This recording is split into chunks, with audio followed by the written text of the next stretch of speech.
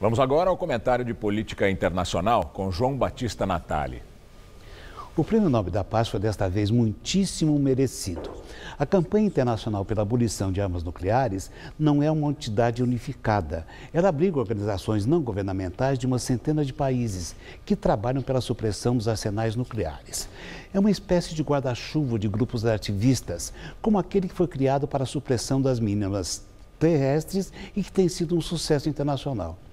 A ICANN, sigla inglês dessa associação com sede em Genebra, na Suíça, está por detrás de um movimento que cresce dentro das Nações Unidas.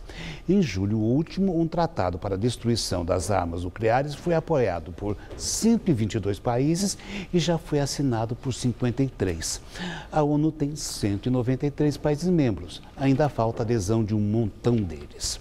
E por enquanto, nenhum dos oito países que tem oficialmente armas atômicas, aderiu ao tratado. Aliás, já existe dentro da ONU um tratado de não proliferação nuclear, mas ele não diz nada sobre os arsenais já existentes. Procura apenas impedir que novos países entrem no clube.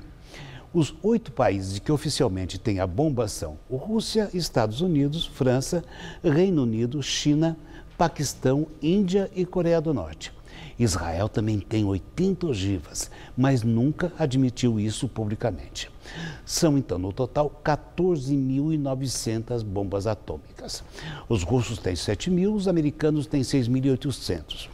A ICANN está preocupada porque as duas principais potências, justamente a Rússia e os Estados Unidos, já desenvolvem planos para modernizar suas ogivas.